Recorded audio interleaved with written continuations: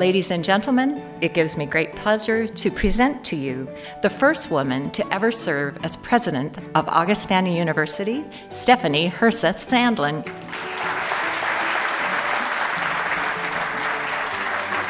I am so humbled by this opportunity and so excited for the future.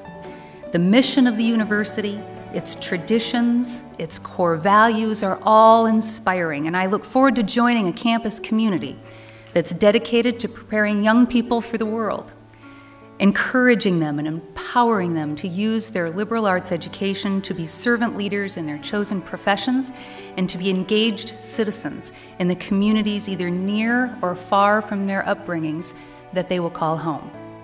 I pledge to be a good steward, to work together in commitment to the mission, and to realize a shared vision of the lasting impact Augustana can and will provide to past, present, and future generations of proud Vikings and their families.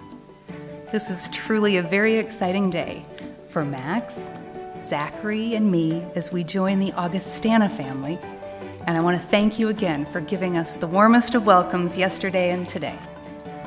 Go Vikings!